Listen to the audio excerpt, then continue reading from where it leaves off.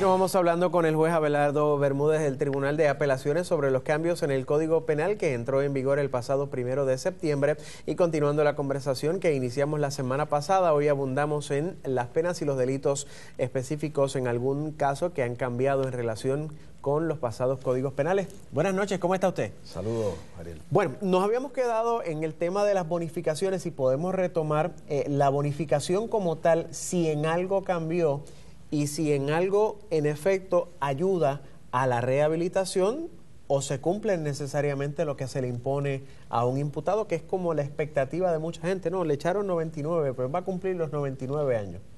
Eh, bueno, habíamos comentado la vez pasada que con el, con el código del 2004 se, se, deroga la anterior ley de la Administración de Corrección. Se crea un nuevo estatuto eh, donde se eliminan las bonificaciones automáticas.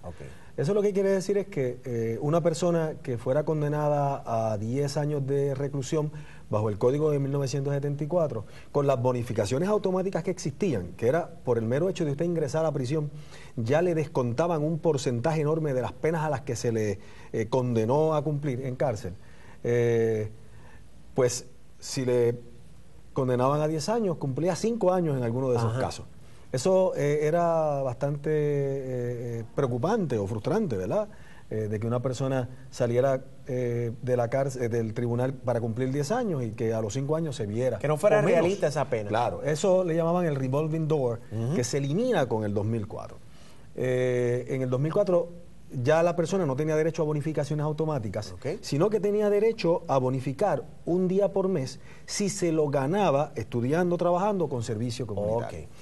Eh, en el 2009 y el 2011, antes de la aprobación del nuevo código, se enmienda esa ley o se deroga esa ley y se eh, añaden unas bonificaciones, eh, se reinstalan unas bonificaciones del antiguo ordenamiento del 74 para que la persona, si exhibía buena conducta, etcétera, se le daban unas bonificaciones eh, de cinco días o, ocho días al mes o quince días al mes, algo así.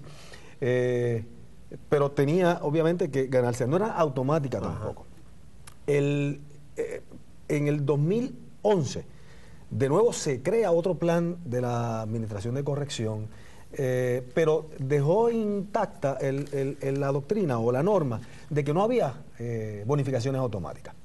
El Código Penal nuevo se, em, se, aprueba, pero no se ha atemperado a ese nuevo código eh, esa, esa, ley de administración de corrección. O sea, esto no es eh, simultáneo. O sea, por haber enmendado el Código Penal, no se enmendaron las bonificaciones por default, como le, como lo dicen en la calle. Son, son estatutos diferentes. Y eh. eso me quiere decir a mí, que tal vez no conozco el detalle, es que no hay bonificaciones. Eso quiere decir que tal y cual está el Estatuto de la Administración de Corrección, no eh, provee para que aquellas personas convictas de delito por el actual código del 2011 eh, tengan bonificaciones automáticas.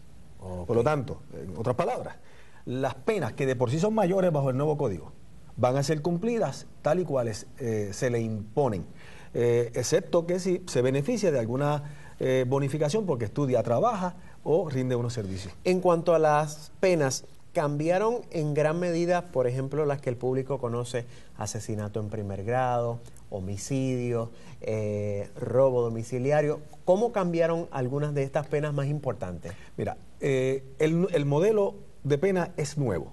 Se eliminaron las clasificaciones de los delitos y se le impone una pena fija a cada delito. Okay.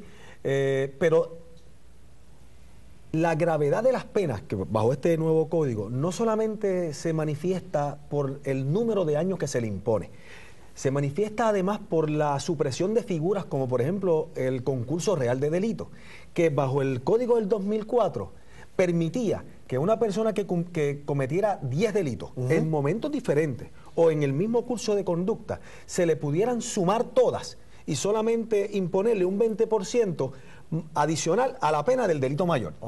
Ahora se elimina esa figura y volvemos a la eh, figura del concurso de delitos bajo el 1974, donde tiene discreción el tribunal de imponer la pena concurrentemente, lo que quiere decir que se Eh, se une todo ahí. Se une todo, a menos que sea una conducta con intenciones diferentes, víctimas eh, lesionadas diferentes, etcétera.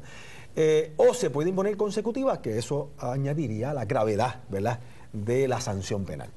Así que muy interesante este tema de las penas todavía yo creo que eso de las bonificaciones va a traer algo de controversia y algunas situaciones porque no está aclarado, pero ya tendremos que esperar. yo no dudo que la legislatura ya esté tomando medidas para, sobre eso para enmendarlas y, corregir eh, ese, esa laguna que existe en el estatuto. Bueno, muy interesante, juez. Gracias por estar con nosotros. Ya lo tendremos en una próxima ocasión para hablar derecho, como se llama la sección. Siempre la orden. Continuamos contigo, Sujei.